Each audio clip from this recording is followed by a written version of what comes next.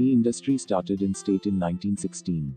After 38 years, tea produced in the state has got identity with a separate logo paving the way for rigorous marketing in the auction markets.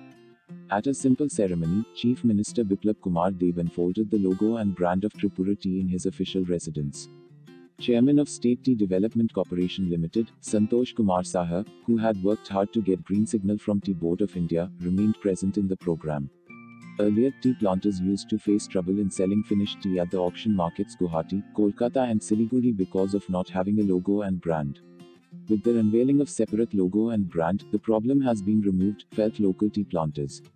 Chief Minister said, It is good that Tripura Tea has finally got its identity logo and brand named Tripureshwari. Now, tea planters will be able to market their own products with logo and branch.